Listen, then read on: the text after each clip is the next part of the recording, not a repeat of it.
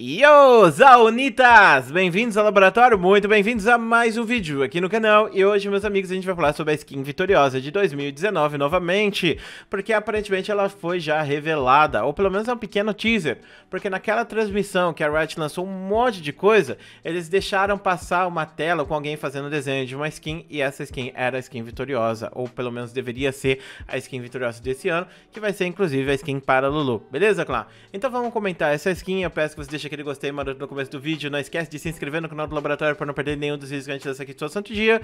E vamos lá. O que, que a gente tem aqui? Essa imagem quem me mandou foi o Vidoto. Não sei quem produziu essa imagem. Se foi você, por favor, escreva nos comentários que eu te dou os créditos.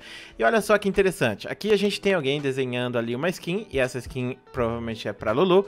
Muita gente vai falar, não, mas essa skin é da aniversário. Aquela skin especial. Que inclusive, eu vou lembrar você joga a partida. Tem que entrar no LoL e jogar uma partida e você vai ganhar o seu prêmio depois. Você tem que jogar todos os dias se você quiser a skin da N, entendeu?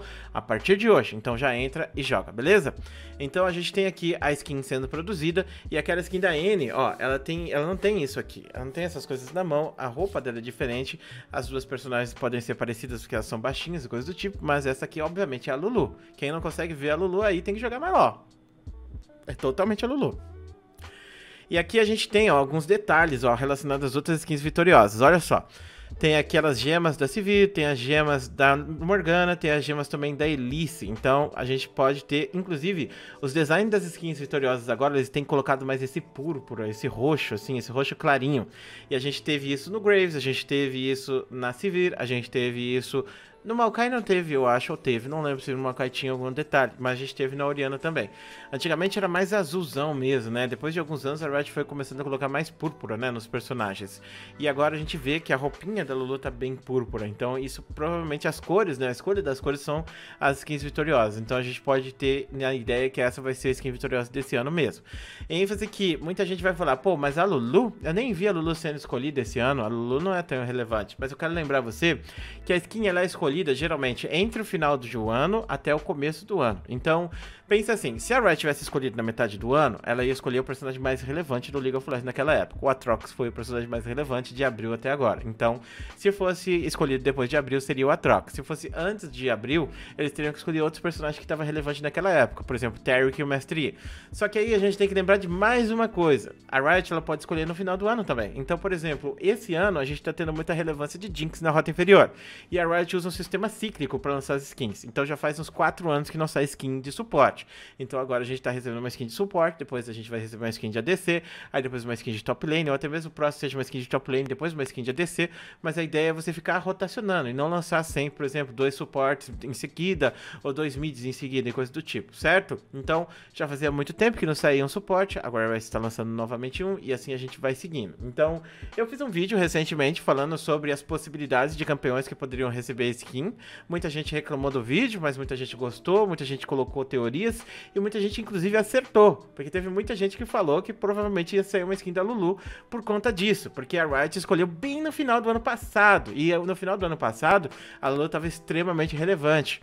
O Mata, ele é um streamer e ele rolou uma treta com ele porque ele tava zoando muito as mulheres de estarem jogando com a Lulu e coisa do tipo. Eu até entrei um pouco nisso e fiz algumas postagens falando que, na verdade, você não deve culpar as pessoas por jogarem com a Lulu, mas às vezes a Lulu é tão relevante que ela acaba fazendo com que todo mundo que joga com ela tenha muito mais liga, porque o League of Legends é um jogo assim.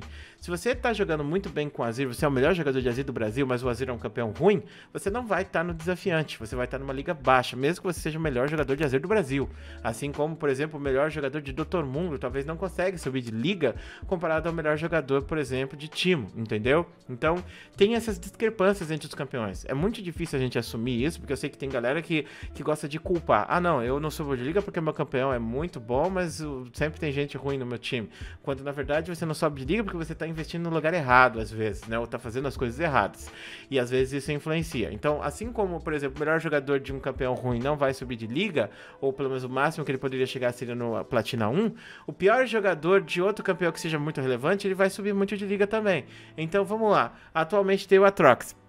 O Atrox só tem que apertar Q para ganhar as partidas. Aí o pior jogador de Atrox, ele vai estar tá no ouro. Enquanto o melhor jogador de Atrox vai estar no desafiante, porque o Atrox é um personagem extremamente relevante e é por isso que a Riot sempre nerfa ele, assim como a Kari também tem problemas similares e muitos outros campeões passam por situações parecidas, entendeu? E no caso, naquela época que o Mata estava reclamando disso, era Lulu e Nami. Lulu e Nami estavam extremamente quebradas e muita gente estava esperando que a skin do ano passado ia ser da Nami. Por quê? Porque a Nami era um personagem que estava sendo muito relevante e estava todo mundo esperando que fosse ser uma campeã suporte. Só que aí a Riot acabou escolhendo uma mid laner, né, para lançar a Oriana e depois fazer outra coisa. Então, naquela época a Nami estava muito forte, a Nami tinha recebido uma skin recentemente, muita gente falou, pô, então essa skin da Nami programa vai fazer com que a Nami não seja a skin vitoriosa desse ano. Ficaram com raiva por causa disso. Mas vamos pensar, a Riot já tinha escolhido a Oriana no começo de, no final de 2017. Então, em 2017 ela estava sendo relevante. Na época da pré-temporada, inclusive de 2017, ela estava sendo relevante e a Riot escolheu naquela época para ela ser a campeã que ia marcar a temporada de 2018. E no caso de 2019, a gente teve uma coisa parecida, porque naquela época a Lulu estava muito relevante da solo kill. Tanto que quem jogasse de Lulu conseguia subir muito fácil de liga. E isso qualquer pessoa. Então a gente olhava para os suportes e a gente ia reclamar que o suporte estava jogando de Lulu. Achei isso injusto, porque a pessoa joga bem com a Lulu e a Lulu é uma personagem extremamente relevante, a pessoa sobe de liga por causa disso. E eu já vi várias vezes isso acontecer. Agora a gente está vendo isso com a Jinx, né? A Jinx é uma personagem extremamente relevante. O cara que joga de Jinx com certeza vai ter muito mais resultado do que o cara que joga de Kog'Maw. Assim como a Caitlyn era assim. Então, às vezes a gente vê a galera reclamando de monochamp no Rael. Por quê? Porque o cara joga muito com um campeão só e esse campeão é extremamente relevante. Aí você tem lá, por exemplo, 50 jogadores monochamp. E aí você vai ver, cada campeão que está sendo monochamp é um campeão que é muito forte, que está sendo nerfado também. Exemplo, acho que foi na temporada de 2018 mesmo. Quando você analisava os tops coreanos, você, aliás, top jogadores, não jogadores da rota topo. E aí você tinha vários jogadores da rota meio lá. E tipo, o top 20, os 20 melhores jogadores da Coreia, eles jogavam na mid lane, tá? Tinha jogadores que eram de ADC também, mas a maior parte era de mid laner e todos eles eram main Thalia. Tinha alguns que jogavam com outra coisa, mas era tipo, a Thalia tava entre os três mais jogados. Então, você pensa, os caras chegaram lá por quê? Porque eles jogam muito bem ou porque eles jogam muito bem de Thalia? É isso que você tem que entender. Então isso faz diferença na hora que você vai subir de liga. E como nessa época a Lulu estava sendo muito reclamada, muita gente falando que a Lulu estava OP, ou que todo mundo jogava de Lulu, é justamente por causa disso, porque a Lulu estava muito relevante. Inclusive eu sabia disso e eu joguei muito de Lulu também. Tanto que eu fiz vídeos aqui no canal do Laboratório sobre a Lulu. Não sei se você lembra dos builds de Lulu metralhadora e tal. Eu fiz vários vídeos sobre isso por causa disso, porque eu queria ensinar vocês que esses campeões estavam relevantes e que eles iam fazer vocês subirem de liga agora.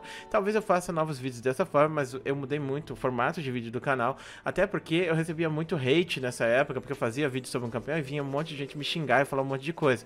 E não é porque eu não tenho, porque às vezes você pensa, pô, Dark, não liga pra essa galera que fica te reclamando, não. Mas é porque assim, você pensa, pô, me esforço pra caramba, faço um conteúdo, pego umas views medianas e a galera vem me xingar ainda. Tipo, isso me deixa um pouco chateado. E aí eu comecei a ver que falar sobre curiosidades do jogo, falar sobre coisas que passaram, criar lendas do solo kill, focar mais em narrativa, dava muito mais visualização e muito mais inscrito e muito mais gente gostava. Porque a maior parte das pessoas já tem já isso na cabeça, já fica fechado. Esse campeão é forte, dane-se o que os outros têm para falar sobre isso, porque esse campeão é o melhor campeão do jogo porque eu jogo com ele e se alguém reclamar, eu vou xingar essa pessoa. É isso que acontece, infelizmente, na nossa comunidade. E as pessoas elas são muito sentimentais, então eu evito ter que bater de frente com isso. Até porque é, eu bati de frente com isso durante vários anos. Eu fiquei quatro anos fazendo isso e sempre batendo de frente, recebendo essas críticas da galera. E eu cheguei no ponto de pensar assim, cara. Tipo, eu sei essas coisas, eu soube de liga por causa disso. Se tem um monte de gente que tá preso lá no Liga Baixa é porque elas não querem acreditar, não querem aceitar e não querem melhorar também. Então eu não sou, tipo, eu não tenho que obrigar elas a aprender a jogar também. Mas enfim, isso mostra, né, que a skin foi escolhida. Infelizmente a gente errou. Eu escolhi pelo menos outras skins. Eu tinha falado do Téric e da Sona, né? Só que aí que entra a questão da época, né? Eu não esperei que a Riot fosse escolher tão cedo. Então, se a Riot escolher agora, que nem eles escolheram no ano passado, foi mais ou menos nessa época que eles escolheram a Lulu, eles eles vão escolher a Jinx, provavelmente, se for atirador. Então a gente tem que ver. Por exemplo, o Atrox ainda tá relevante. Talvez seja o Atrox também.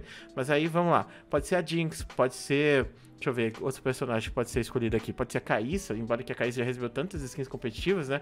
Que eu acho bem difícil que eles façam mais uma. Muita gente falou também sobre a época das skins. A gente tem que lembrar também, tipo, se tem seis meses de distância entre o lançamento de uma skin e o lançamento da skin vitoriosa, a gente não deve contar essa skin que saiu há seis meses atrás como uma skin que ele que vai contar, por exemplo, para não sair outra skin. Por exemplo, muita gente veio reclamar que eu tinha falado do Ezreal. O Ezreal tinha sido lançado durante o evento de abril do MSI. Só que aquele evento é muito antigo. Então, até passar seis meses, isso já tá na janela de você lançar outra skin para ele. Tanto que a gente vê a Lux recebendo essa janela de skins. A Lux é a personagem que mais vende skins no League of Legends e ela lança skin todos seis meses. Então, eu acho que isso ia, ter, ia ser uma janela de skin parecida no caso do Ezreal ou de qualquer outro personagem que tivesse. Então, por exemplo, a gente falou, a Trax não vai receber porque ele recebeu a skin do ano novo. Talvez não, porque o ano novo tem muita distância até o final do ano, né, cara? Então, a Riot programa tudo isso. A Riot tem um cronograma do começo ao fim das skins. Então, você tem que entender. Quando eles começaram a fazer a skin da, da Lulu, já estava tudo programado pro ano inteiro. Então, poderia sair duas skins pro Atrox, por exemplo. Eles começam o ano lançando uma e aí eles já vão fazendo a segunda também. Mas, enfim, Riot acabou decidindo que ia ser uma personagem suporte mesmo. E dessas personagens suportes, na época, a Sona foi, ficou forte depois. Se fosse depois, teria sido a Sona. E o Taric foi na época do afunilamento de ouro, né? No caso. Então, eles escolheram depois do Taric deixar de ser relevante por causa do afunilamento de ouro. E antes do Taric voltar a ser relevante por causa do build duplo, né? Da rota inferior de Sona e Taric. Então, o Taric poderia muito fácil ter sido escolhido se eles tivessem pego a janela certa. Mas eles escolheram na janela da pré-temporada. E aí eu me pergunto, isso mostra porque a gente tá vendo várias vezes, né, que a Riot escolhe a skin vitoriosa assim que eles lançam a skin vitoriosa. Então, é como se tivesse uma equipe que estivesse trabalhando com a skin vitoriosa o ano inteiro. Porque para fazer uma skin de LoL, não é uma coisa que você faz do dia pra noite, é uma coisa que demora meses, vários meses fazendo. Então, eles demoram 6 a 7 a 8 meses para lançar uma skin. E aí, essa equipe que trabalha na skin vitoriosa demora um ano para fazer a skin, e eles começam, por exemplo, a remodelar a skin bem no começo, quando eles lançam a skin mesmo. Então, por exemplo, agora vai sair essa skin da Lulu, e aí eles já começam, escolhem o próximo personagem, começa a fazer as ideias e fazer o processamento de dados para lançar a próxima skin no ano que vem e não atrasar. Principalmente essa que não pode atrasar de fato, né? E é isso aí, claro. Praticamente para mim tá certo, é a skin da Lulu vitoriosa, até porque ela está vestida com traje de gala, com luvas e coisas bonitas. Eu achei legal, gostei bastante, eu gosto muito da Lulu, lembrando que você pode tem que chegar no ouro para pegar essa skin. Tem vários guias aí na internet, como eu falei para vocês, de jogo, Ucla, Ken, meu canal, tem vários canais aí que vão ajudar vocês, o Maquilândia. Entra nesses canais que eu tenho certeza que se você tryhardar um mês e meio, dá tranquilamente para você pegar ouro, beleza? Um grande beijo, um grande abraço e até depois!